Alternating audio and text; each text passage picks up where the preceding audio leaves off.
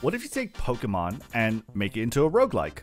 Meet Pokerogue, an insane game that takes two concepts that I love and smashes it together. And somehow it works?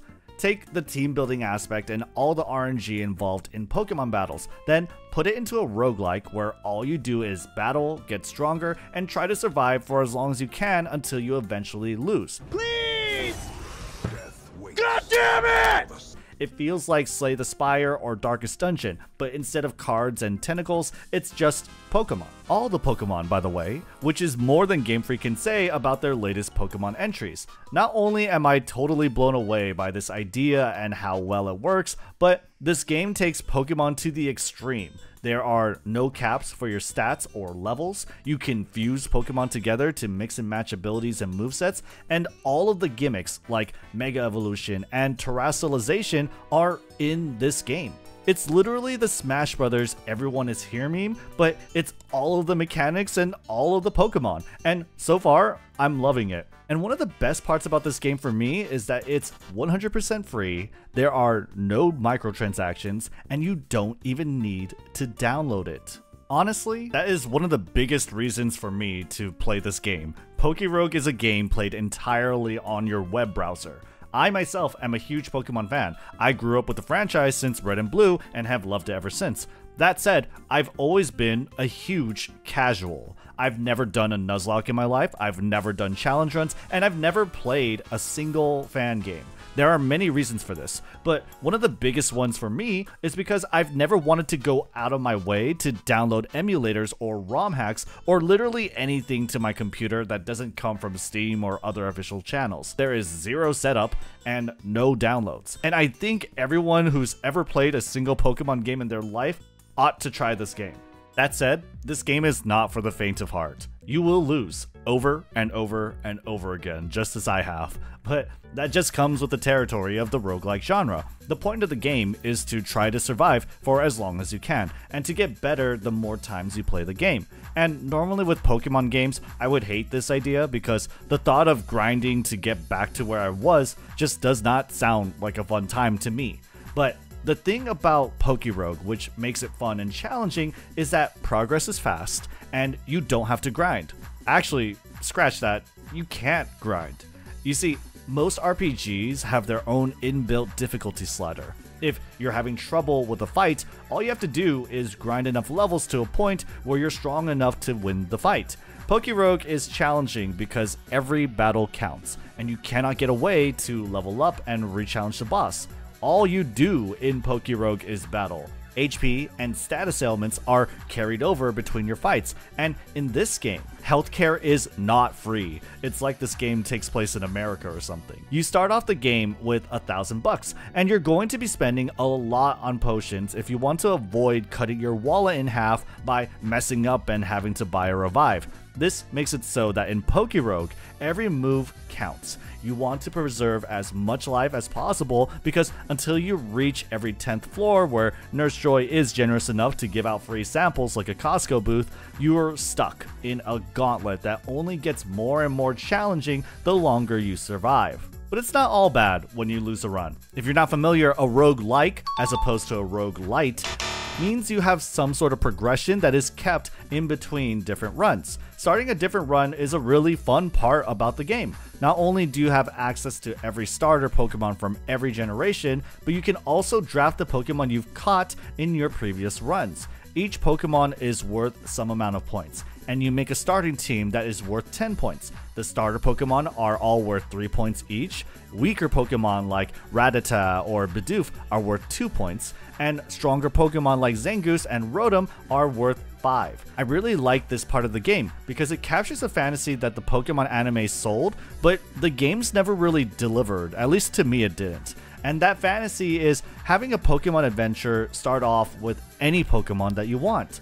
I think a big thing that's missing in the Pokemon games is the freedom to insert your own narrative and story. Almost all the trainers, including Ash in the anime, do not start with a starter Pokemon and play a game to its finish. They find or acquire their partner Pokemon through other means and journey with them across the world to complete their own goals. And while Pokerogue has pretty minimal storytelling and narrative, since it's really only a series of death battles, I still think it's really fun and cool that you can tailor the start of your run to your own preference. One thing I think will get a lot of people hooked too is that there's an egg gacha. After beating gym leaders, you are rewarded with egg gacha vouchers that give you Pokemon eggs of various rarities. There are three egg gacha machines.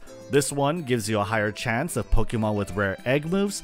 This one gives you more odds at obtaining a legendary Pokemon to use in your future runs. And this one is a machine that gives you a higher chance at obtaining shiny Pokemon.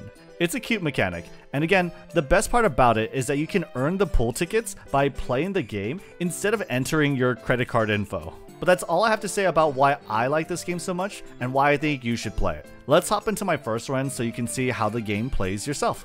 Fair warning, this game is already pretty challenging from what I've heard, even from Pokemon diehards, but it's extremely challenging for me because again, I'm a huge casual. Alright, so let's go ahead and start the run. So my first team, just gonna pick my favorites, Totodile, Fuecoco, and Chikorita. That's me.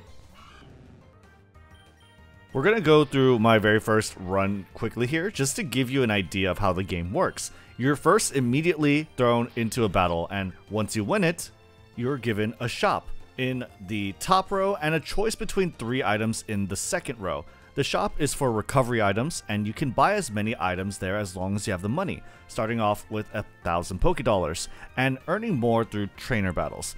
Buy items from the shop first if you need to, because once you pick from the selection of three in the second row, it's on to the next battle. As for the items, in true roguelike fashion, you have items of various rarities that all do different things. You start off with 5 Pokeballs, and so the Pokeballs here would give you 5 more, and there are higher grades available. TMs teach your Pokemon moves, berries are held items that your Pokemon eat for buffs once their HP gets low and then the berry's gone. And there are many more items, including rare items like a Megastone bracelet, which lets you find the Megastones to Mega Evolve, a candy jar, which improves rare candies to give you one more level. Rare items like the candy jar have effects that stack. So if you had two candy jars, for example, then your rare candies will give three total levels. By the way, you might notice that a lot of TMs have a P symbol in their name.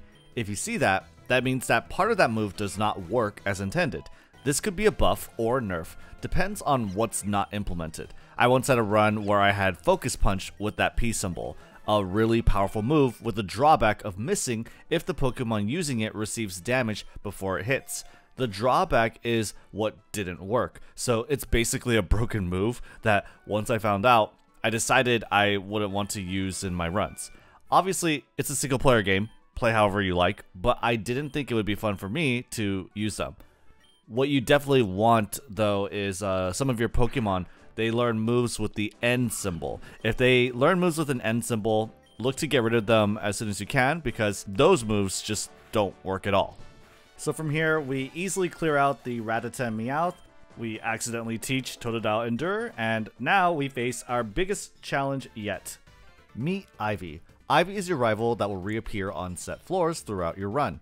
She's one of the only encounters that you can plan for. Whatever team she has first is the one she will continue to build on as your run progresses. You'll see her add more Pokemon to her roster, and all of them will get stronger and evolve each time you encounter her. And let's just say that although she starts off weak, she may start to surprise you as we'll see later on. Type here. I mean, hey, he's level 8. Not very effective. Ow. Ooh, he's gonna outspeed me. It's gonna hurt too. Oh, he's she swapped it. Oh wow, that's an interesting move. She probably should have just kept it just to like do some damage. I'm gonna have to swap. Oh wait, what? I don't get a I don't get an option to swap. So here is where my confusion as a casual player sort of comes in. Um, apparently, in the games, the default setting is what is called shift mode. And shift mode basically has the trainer tell you what Pokemon they're going to swap into, and also gives you an opportunity to swap Pokemon. It gives the player an advantage to swap into a Pokemon that has a more favorable matchup. And I guess most people would consider unfair to the AI, to the enemy, because they don't really have that same opportunity, which is fair. And that's why I don't really mind having to learn it, but I was caught off guard because I've always played with shift mode as a casual, and now we are playing with set mode. So we managed to defeat Ivy, and your reward for this encounter is a Super EXP Charm and an EXP All. So here we skip to floor 10, where we encounter a boss Hoothoot. So boss Pokemon or trainers will appear on every 10th floor, and essentially what boss Pokemon have, they have two stages of health. So no matter how strong your first move is, you will never break through that little divider in the middle. So you need at least two attacks to be able to beat this boss. And once you do reach that half point, the Pokemon will stop taking damage and they will also get a buff. You can also catch these Pokemon and they usually have more IVs than most. So here we defeat the boss Hoothoot and you're gonna hear it, but after every 10th floor, right, after one of these encounters, your Pokemon team will get a full heal and a full revive. And this is where we meet our end. Wow, this game's already getting, like, pretty tough, and I'm only in the beginning. uh, that's gotta suck, right? Basculin? Okay. I feel like... Why did I swap? Why did I swap? No, dude. Oh, God. Isn't he, like, water and steel? Oh my god, he's so strong. He's like faster. He's faster than Pikachu. Okay, that's good. That's good. We can resist it. That's that's what we really need. Oh god. Oh god, come on, dude. Let me move faster. Special defense rose. Wow, he swapped it. Okay, wait. Ooh, we did not do that much damage. Oh god, dude, this is so we're so dead. Huh?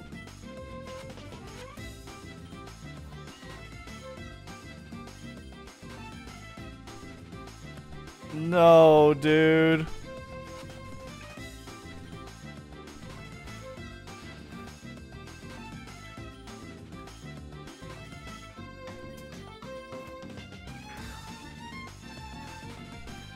Oh. I'm dead. I'm actually this is actually the I didn't think I would I didn't I, I didn't think I would actually lose this fast. I thought I thought maybe oh my god. I thought maybe we'd be okay just a little bit, but wow. I, I don't know. I thought I would have made it a little farther. Dang. Dang. This oof. Big oof. Big oof. The end of the first run. Yikes. Wow. So today I learned I suck at Pokemon. no, my game's gone, dude. Oh god. Wait, but I want to try again. I do want to try again. I want to I, I want to keep going. And so I did. Again. Again. And again. PokeRogue's Classic Mode has 200 floors from what I've heard, and I was so determined to get at least past floor 100 with the starter Pokemon. I could use the stronger Pokemon with higher IVs and point values that I've caught earlier in my previous runs, but for me, it had to be with the starters. The starter Pokemon in this game have really basic IVs and stats, and as I've learned, not all of them are made equal. My favorite water starter Totodile, for instance, doesn't start with Water Gun at level 5, but learns it at level 6. His Rage isn't implemented correctly, Sprigatito's Leafage never misses, and why would I pick Totodile over Mudkip, who has ground typing as a Marshtomp and so is immune to electricity attacks? And while that might seem like a small difference, Personally, after playing a good bit, I feel like the difficulty of PokeRogue starts high at the beginning, slopes down when you hit mid-game, which is when you do manage to stabilize with a couple of strong sweepers, then ramps up quick towards the end with all the ridiculous stuff they add into the game. And we're gonna see some crazy things, but it wouldn't be until I realized just how important it was to get a good head start where we would see a huge improvement. Okay, here we go again. I mean, it's really fun though. I'm having a lot of fun. I honestly don't like grass types. this might be like crazy. I just, I don't know. The grass types, I mean, she learns quick attack though. That's gotta be, that's gotta be good. We have to start with the fire type. Fire types, usually pretty resistant. Fennekin's probably the best one because Fennekin should be faster. Yeah, Marshtomp or Mudkip sounds good. I just didn't have the order right. Think this is good. Okay, cool. Yeah, we one-shot this guy. Easy. Pokeball? Leppa Berry? X special attack? I don't think we need X special attack. Maybe we just stock up on Pokeball. I did run out last time. Nope. One shot. Rogue Ball. Okay. Whismur. Okay. Swagger raises opponent's attack by two stages, inflicts confusion. I'm not a big fan of that. And then we just take the free pot.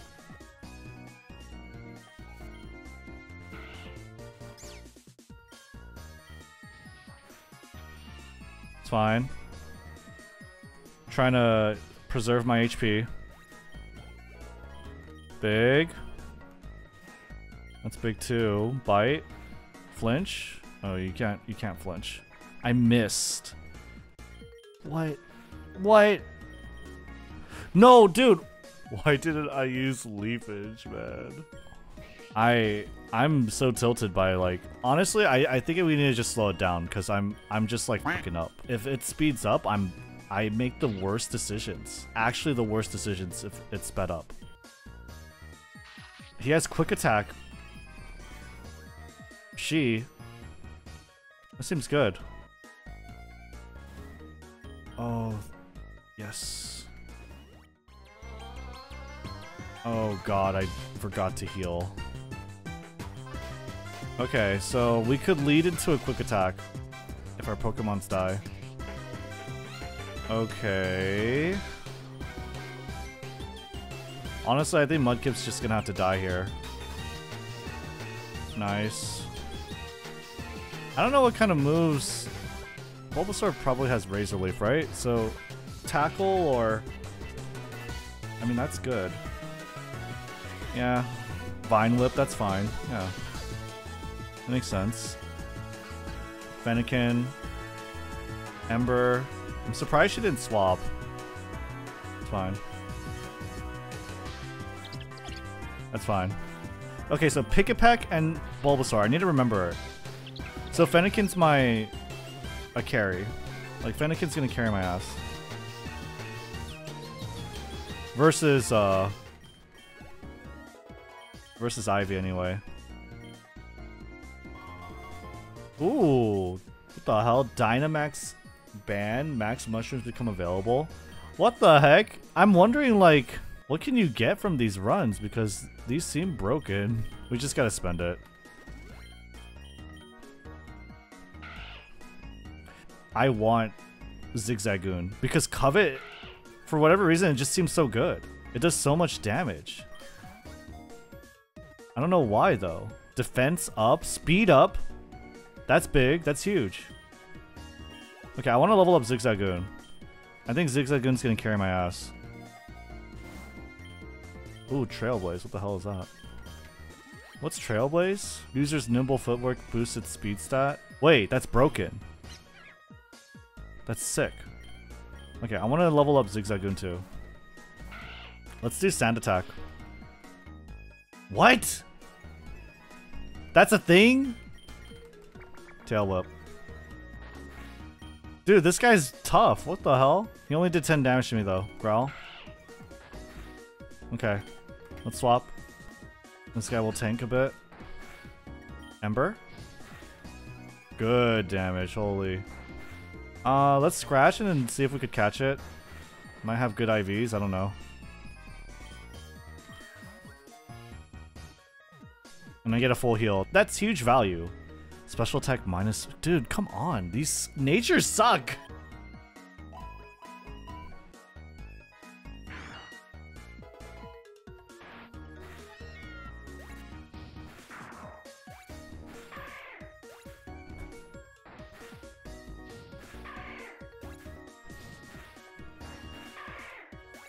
Ass. Twins, Leah and Lily.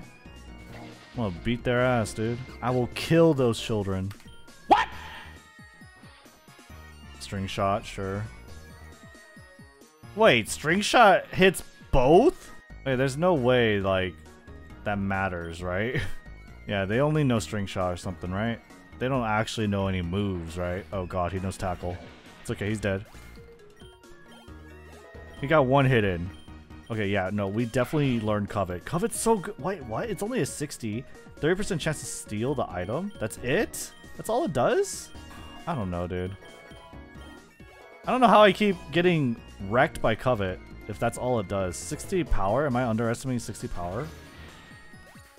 I want to see how big Covet is. Dude, Covet's nuts! Wait, 60 power is insane. Whoa, Raichu? What? Thunder Punch? Oh, you gotta be shitting me, dude. Are you serious?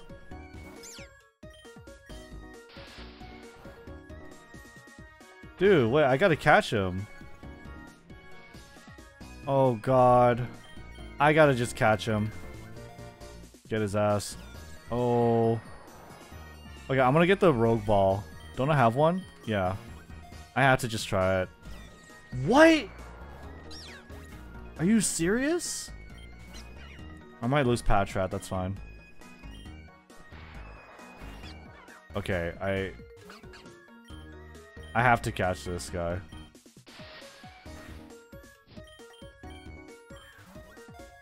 I'm desperate. I need it. Ooh! Hasty, not bad. Oh my god, Fennekin's carrying my ass, dude. Alright, well, the video is getting a little long, so I am going to have to skip ahead and give you the rundown of what happened in between. Before I do that, if you guys do enjoy the content, please make sure you let me know in the comments, leave a thumbs up, and subscribe to the channel because it lets me know that I can do more. Maybe even some live streams of Pokerogue in the future. Follow me on Twitch if you want to see that. So Fennekin would evolve into Braixen and prove to be a great carry with good speed and high damage that was strong against most of the Pokemon on the early floors, including our rival Ivy's Ivysaur. Later, we would challenge Ivy again on floor 25 and defeat her pretty easily. Erika would follow shortly after as the gym leader on floor 30 and prove to be a real challenge. She nearly wipes my entire team with her Bellossom spamming Giga Drain. I honestly thought it was over for me, but Thankfully, Giga Drain only has 10 PP, and my level 17 Foongus managed to tank the last one and the weaker Mega Drains and Absorbs while squeezing in the last damage I needed to take her out. Wait. I got it. Maybe? Oh my god, let's go. Later, I would face a boss Zangoose on floor 40, who manages to one-shot both my Marshtomp and Raichu with Crush Claw. If you notice, Zangoose is holding a Silk Scarf, boosting her normal moves by 20%, making her Crush Claw extremely powerful since it's a stab for her. After realizing this, I knew I had to catch her with a Rogue Ball. I used Zangoose to fast climb my way up the floors, and along the way picked up a TM for Double Edge, an extremely powerful normal move that comes at a slight cost of damage, but I figured if Zangoose learned this, I'd be unstoppable. My team was starting to look really strong. From floors 70 to 90, I was in icy biomes, which gave me ice Pokemon to fight that Delphox easily cleared. One roadblock along the way, though, was Ursaluna, who managed to one-shot my Delphox with a 9-level difference. Ursaluna's raw stats and performance convinced me to catch him. Eventually, I would transfer the Silk Scarf from Zangoose over to him and replace Zangoose. At floor 90, I easily sweep Melanie with Delphox. At floor 95 is where things get a little dicey, as it was time to fight Ivy again, who opened with a terastallized Venusaur? At least, I think it's terastallized. I managed to get carried by Ursaluna using Thrash, allowing him to sweep Toucannon, Venusaur, and Kingdra. After clearing Ivy and almost losing to a boss Mesprit that I really wanted to catch, we pick up Dusknoir for its defensive bulk and ghost typing. From there, it's smooth sailing, all the way until... No time to mince words. It is now time to fight Ivy, floor 145. Here she opens with a boss Venusaur. Not only is it terastallized, it has two stages of health. That alone shocked me, but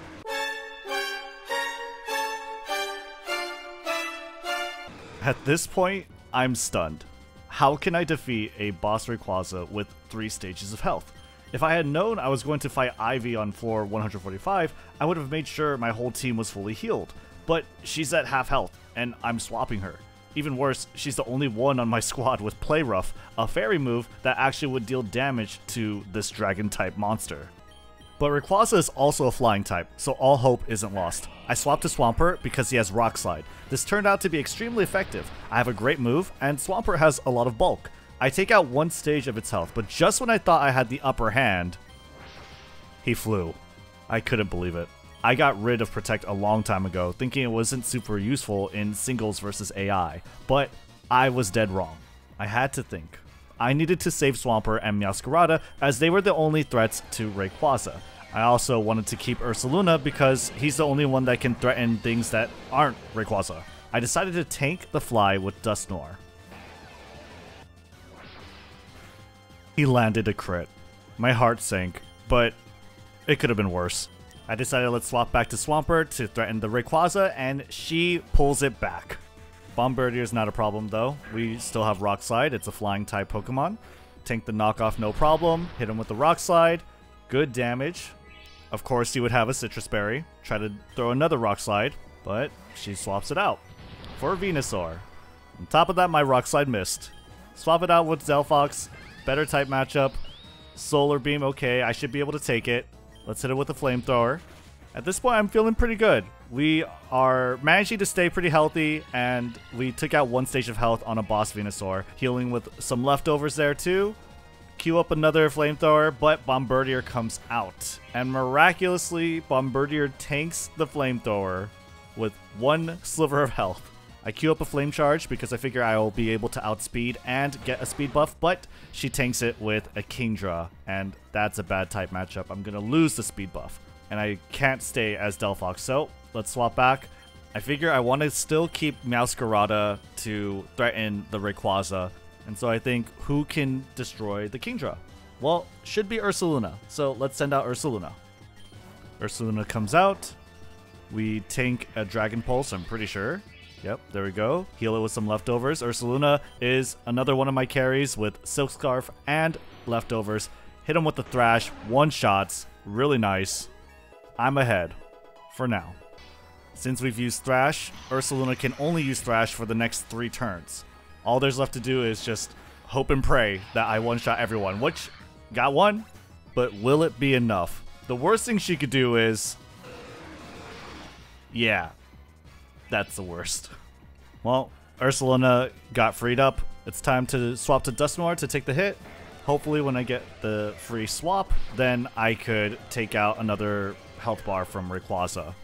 I swap over to Swampert to do a Rock Slide, but unfortunately that would not be enough because Swampert is slower than Rayquaza and so cannot do a move before Rayquaza flies. I swap over to Hydreigon for a couple reasons. This Hydreigon doesn't have really good moves, but it does have Body Slam and it does have Scary Face.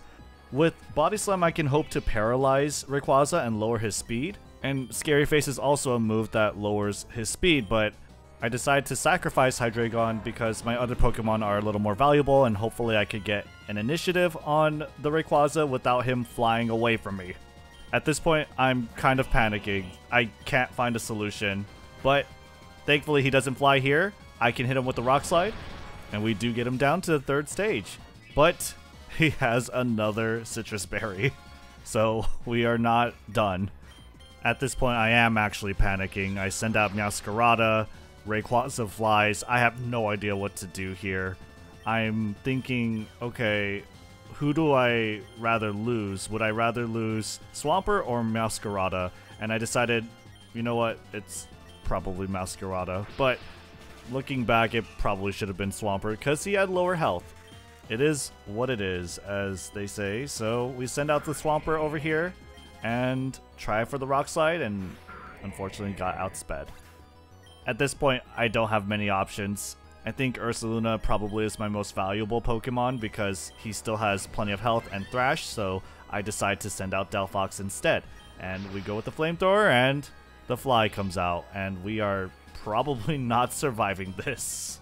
I try to run from a trainer battle just in case, but I figure if I do survive, I can burn Rayquaza and lower his attack, and I do.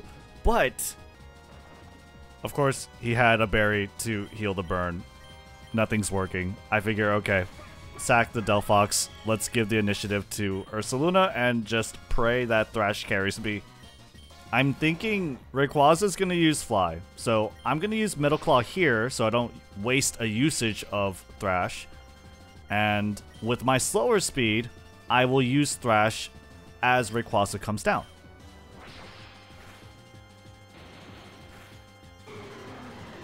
I actually got him. My heart was racing. I just need to survive and land the Thrash on three or four other Pokemon. Three Pokemon right there. Okay, Venusaur, Solar Beam, sure, take a free Thrash. Okay, knock him out.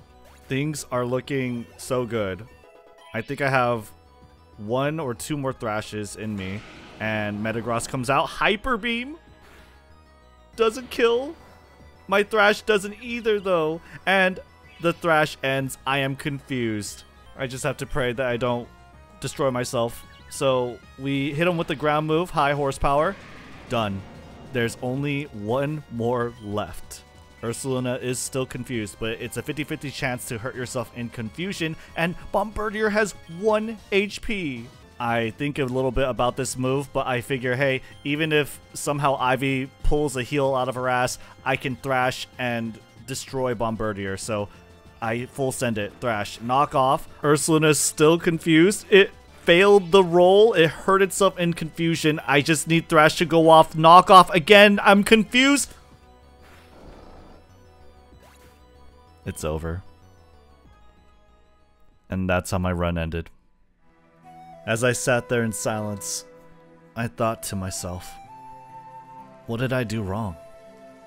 What could I have done better?